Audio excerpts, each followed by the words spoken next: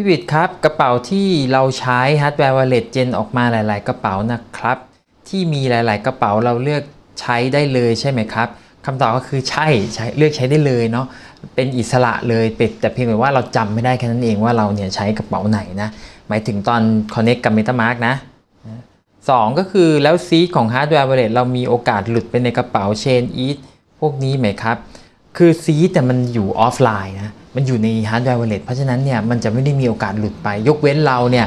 ถ่ายรูปที่เราเขียน seed อะอัปโหลดเก็บไปไว้ใน cloud หรืออะไรพวกนี้อันเนี้ยโดนนะครับ ข้อ 3 แล้วทำไมเราใช้กระเป๋า chain ETH แต่พอผมไปเล่นบน BSC แล้ว แล้วก็ใช้แก๊สเป็น BNB